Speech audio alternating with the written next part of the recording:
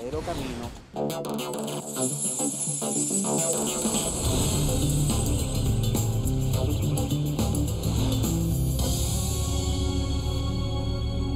Y esto es contigo, queridísimo Géminis de mi vida, Géminis de mi corazón. Géminis, hablamos de dos personas al mismo tiempo o hablamos de la conclusión de un problema ya definitivamente a nivel laboral, económico, a nivel judicial. Parece que como que ganaste ya el caso o no te has dado cuenta, te tenía mortificado esos documentos y mira, se resuelve a tu favor de una manera, mira, lógica. Ya creo que esos enemigos, esas inamistades que tú has tenido hace mucho tiempo, se van a quedar tranquilas la serpiente, ¿no? Por fin, y más que todo que siempre ha sido problema mira, por tu actitud, eres, un signo muy envidiado por las personas y cuando tú te confías de la gente, mira, es cuando más te clava la puñalada por la espalda, ¿no? Pero esto no ha sido una sola vez, esto ha sido varias veces, entonces tampoco me gustaría que te volvieras así como esa persona que todo el tiempo estás buscando dándote contra la pared, contra las piedras, cayéndote otra vez, no, de lo contrario, mira, yo creo que hay que aprender un poquito más cómo nos trata la vida, ¿no? Hecho curioso en tu salud y hay que cuidarse con el número 7 de la garganta, problemas que tengan que ver con la parte alérgica,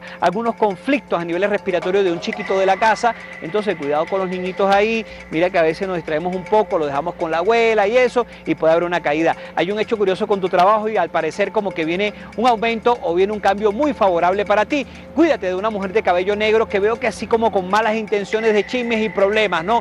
Noticia muy buena del extranjero y al parecer esas noticias te van a llevar de júbilo o de alegría, ¿verdad? Sagitario. Hola queridísimos amigos, soy Alejandro Sánchez y los invito a suscribirse a nuestro canal de YouTube y ahí va a ver nuestro programa Encuentro Interior.